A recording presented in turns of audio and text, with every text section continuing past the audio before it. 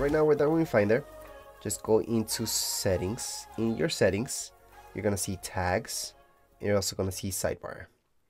So this is your sidebar in your Finder. Most of you may want to view your movies there. Music, you can put a check mark there. Pictures, or your home folder. This is the big one. A lot of people are missing this, and this is actually really important to have. Don't know why it's not default, but you should turn that on. I'm going to show you what that means. Also, you can go into locations and turn this on, but I wouldn't for that. I'll just get a little confusing. So we're just going to close this up at this point. And what we just did was add this into our favorites. So we can see that in our sidebar. So if I click on it, I can see everything that's in my Mac. So I can go into my desktop, documents, downloads, movies, music, pictures, public. So all my main folders are right here. So that's my home. And just in case if you want to move these things around, so if I want this to be up here, all I have to do is click on it and then drag it to what position I want. So I can leave it here, I can make it go in the middle, I can move it here. But again, all I'm doing is just clicking on it and then just dragging it to wherever I want.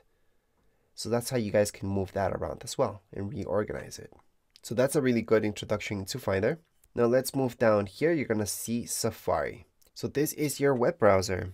From here, you can just type in google.com, for example, and here you go. You can go on and search for anything you want. You can even download Google Chrome if that's something that you like, but I would recommend just using Safari. Now, in order to fully close any applications, you never want to just tap here on the red.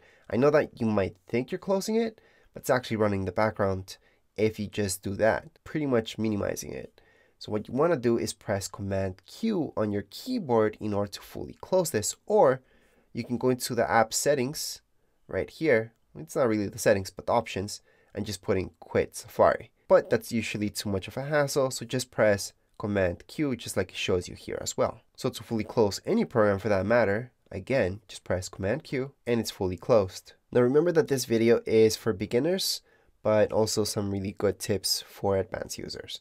Anyways, let's just move on down here below. You're going to see your dock. Now under your dock, you might not want all this stuff here because uh, you will not be using half of this. I'm just going to go through some of the basics down here and just show you what each one is. So down here below, you're going to see any apps that you have opened recently. You're also going to see your downloads here most likely. You're going to see your system settings that we went over already. App Store, that's where you're going to download stuff. We're going to go over that in a second. Pages, this is the comparable to Microsoft Word. This would be like Excel. This would be like PowerPoint. Right here, you use just tap on it and check it out what it is. But this is where you read the use. It's just an app. Music, this is where you can download music and play music as well. Apple TV, this is the app. So it's different than Apple TV Plus, which is a channel on the Apple TV app, you can explore many, many channels and see which one you like. And this is also where you guys can purchase movies and keep them in your account. Freeform, we were gonna go over later on. Notes, again, just keep notes there, reminders. You can set up any reminders, contacts. You have your calendar there, FaceTime. This is if you wanna make any FaceTime calls. If you have an iPhone or iPad, you've done those before. But if you haven't, this will just be using your email in order to make any FaceTime calls to anybody that you would like.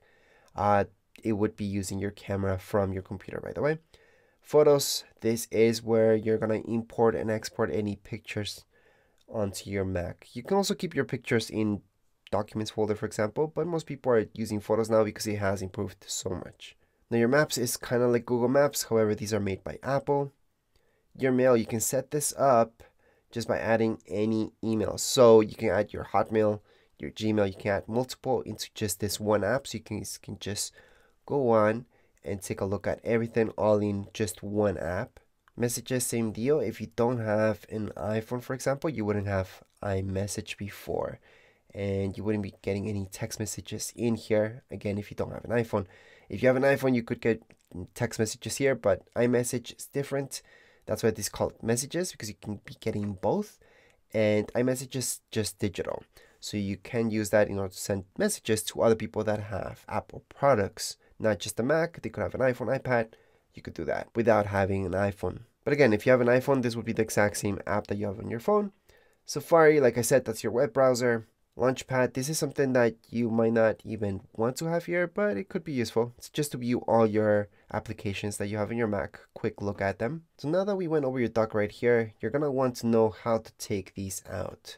So we're gonna delete these from here. We're not gonna delete the actual apps. We're just gonna take them out from the dock. So your dock might get too much stuff in there that you're not gonna use. Because anything that you have down here, it's just for your quick access. Because at the end of the day, to access any of these, you can just go into Finder, and under Finder, you can just go into Applications, which is your third option, and you're gonna see all your apps. So even apps that are not in there. So again, any programs that you don't see on your dock down here below would be under your Applications folder. So I'm just gonna zoom in a little bit. And for example, contacts, I don't need quick access to this. All you have to do in order to get this out of here is drag it out. So click on it and drag it out into your desktop. It's gonna say remove, let go of it, and it's gone. Did you just delete that app? No, it's just out of here. So it's not in your way. Same thing I'm going to do with calendar. I'm going to do the same thing with freeform, for example. Apple TV, I don't need quick access to that. I don't need quick access to this. I don't need quick access to this. Don't need quick access to this. There's a lot of stuff that I don't need quick access to. And it's going to make everything look so much cleaner and so much better. Same thing with maps. I don't need quick access to that. Everything else I kind of do need quick access to because I do check them out a lot. FaceTime, I don't need quick access, barely use that. And there you go. If you would like to add anything in here, in the other hand, all you have to do, for example, is go into Finder. Once we're in Finder, just tap on your third option. It's going to say Applications, and I can drag any application into there to have quick access to it.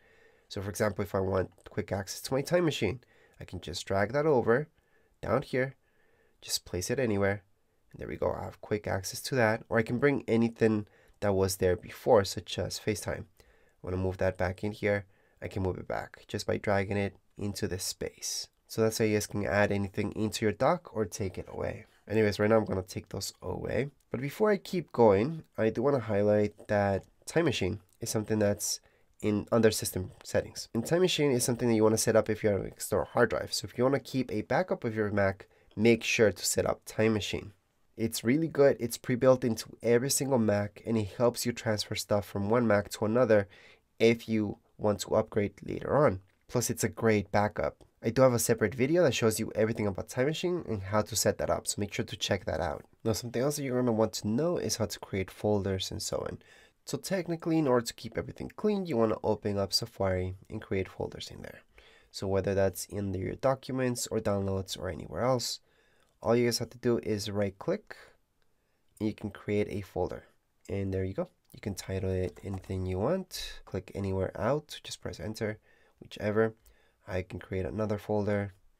I can just leave it as in as is just by pressing enter. Just gonna leave it. Just click out of it and there you go to rename a folder at any point in time, all I have to do is just click on it, press return key right here on your keyboard, and then just use your arrows. You can go back and forth on it and then just change the name to whatever you like. So I'm gonna delete this. Just pressing delete on my keyboard and I can just put tech and design, for example, YouTube channel. Click out of it and there you go. Just change the name. To delete anything, so if you want to delete any folders or any documents, movies, pictures, anything really from your Mac, all you have to do is just click on it. Then you're going to press Command Delete. That's on your keyboard and it's been deleted. After you delete it, it does go down to your trash bin down here below. Just right click on your trash bin and empty it out. That's the quickest way to fully delete it. You're going to see this and then from here, just press on empty trash. So you're done. Now let's say you're having problems deleting anything. Well, just make sure you're admin user, which you are most likely. And in this case, we're gonna right click here. We're gonna go into get info and then under get info, you're gonna see down here below, it's gonna say sharing and permission. Just open that up. You're gonna see if you have permission to read and write. Just make sure you have permission to read and write. You can unlock this obviously with using your password, but for most of you, you're good to go. You can change all of this to read and write, read and write, because if you couldn't delete it, most likely it was just on read only. So maybe that was getting your way. You can just put read and write, close this up, and then you can just delete it. In order to delete this, another way would be to right click on it. If you right click on it, you can just select your second option where it says move to trash and there you go. And then just empty it from trash. Like I said, now to empty it from your trash bin, there's another way. You can double click on this to open it up or just tap on it once. And then you're going to see the option to empty it out right here on the top right hand corner. You're going to get this option as well and you're done. So that's how you can delete any files right here on your Mac. If you want to delete any programs, then you could do it the exact same way or download an app that's called App Delete. That's what I use, but you don't need it. You can just delete it from here, just like I deleted all those folders. If you're downloading an app right here that's not from the App Store on your Mac, all you have to do, for example, I'm downloading this one right now. Obviously, click on Allow.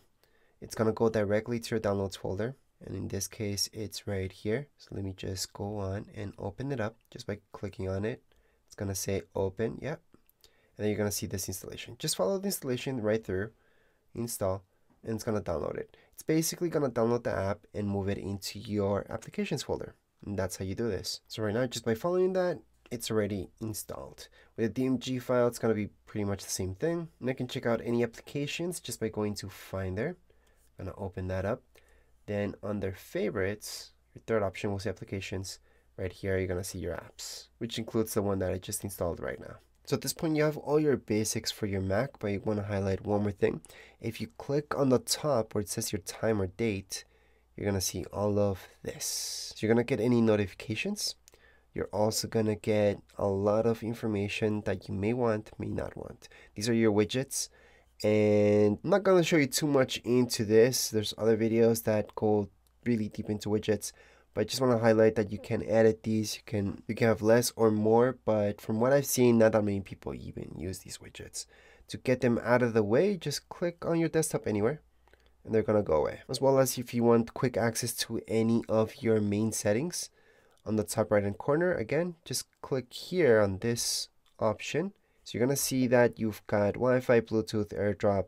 These are your main things. Your display, if you want it brighter, less bright. You want your audio to go up or down. You can always mess around with these on your keyboard, yes, but if you don't want to, you can mess around with them here. Focus is also good, so you're not bothered with notifications all over the place. So you can check that out. And obviously we have music down here because a lot of people listen to music while they work. Get out of this, just click away anywhere on your desktop. And last but not least, let's set up your email. So down here below, you're to see mail. Just tap on it. You're going to see this if it's setting up for the first time. Then it's going to show you your inbox. This will only be for your iCloud email. However, you can set up any email in here in this app. So you can add your Gmail, Hotmail, any email that you want, you can add it on here. And in order to do that, you just go on the top left-hand side of your screen. You're going to see mail. Just tap on mail. And here, you're going to see this, accounts and settings. What you want to do is going to add account, which is your third option well, technically fourth option down here below, you're just going to add your account and from there you're going to see all these options. So like I mentioned before, it depends what type of email you've got. If your email doesn't match any of these, just go into other mail account. But just to show you an example, I'm going to add in a Gmail account. So that means it's a Google account. Press continue. And then from here, just type in your email. It's going to ask you for your password and then just go next, next, next, and you've added everything onto it. So like I said, you would just press next. And yes, if you got any security in your Gmail, most likely you got a notification on your phone or your tablet. You just have to open up that YouTube app and you would just verify there if you're doing this with Google. Now you can also add your Gmail into your contacts. So you're just adding your contacts into here, this app, calendar, you can sync up your notes. You can sync up anything from Google really and I suggest just clicking on everything. You don't have to. This is just for mail. But anyways, let's just tap on done. And at this point on your left hand side, you should see after just a little bit, just wait for it. It's going to load up everything for you. And everything does keep loading for me right now. It's refreshing. I'm going to see Google. So that's my other mail account. So on the top of your mail, you're going to see all these options. You're going to see all inboxes. You're going to see your iCloud or Google. So you can tap on each one of them or just tap on all inboxes. You're going to get everything all in one so you can view all of them. And you can keep adding more and more emails that you have from other servers such as Hotmail, for example, into this one app. So that's it for your mail account. I'm just going to close this up for now. And like I mentioned before, you can download apps, programs from Safari. So because not all of them are in the App Store, but if you do want to download something from the App Store, this is how you do it. So just open up your App Store. And from here, we're just to continue on. And I'm to give you an example. So you can enable notifications or not with the App Store. What I would do is just not, I just get way too many notifications. And then from here, you're just to search for the app that you want. So we're just to search for Final Cut Pro, for example. And let's say I didn't buy Final Cut Pro yet then what I would see on that specific app would be a price. Obviously, it's not $2.99. This is just another app. Is just to give you an example. Right now, since I bought this before, I'm going to see this. So all I have to do is just download it. And there we go. I'm downloading the very first app into this Mac. Now, if I want to download any other apps, such as, let's say, compressor, I can just search up for it.